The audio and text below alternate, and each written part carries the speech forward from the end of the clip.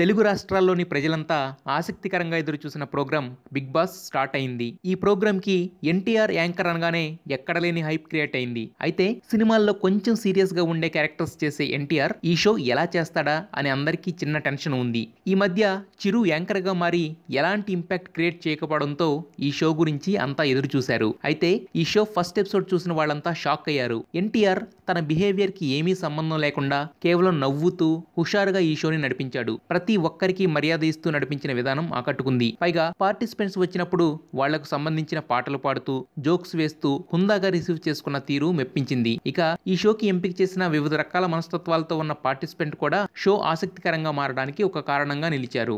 First episode వరకు తారక్ తన చలాకీతనంతో నడిపించేశాడు. అయితే ఇక ముందు జరిగే ఎపిసోడ్స్లో స్పాంటినిటీతో ఎలా రియాక్ట్ అవుతాడు అనే దానిపై షో రేంజ్ ఆధారపడి ఉంటుంది. హిందీలో సల్మాన్ వేసే ఇన్స్టెంట్ పంచుల వల్లే ఆ షో అంతగా సక్సెస్ అయింది.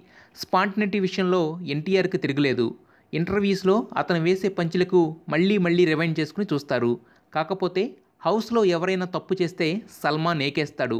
ఆ ఒక్క విషయంలో ఎన్టీఆర్ ఎలా స్కోర్ చేస్తాడు అనే దానిపై ఈ షో సక్సెస్ రేటు ఆధారపడి ఉంటుంది.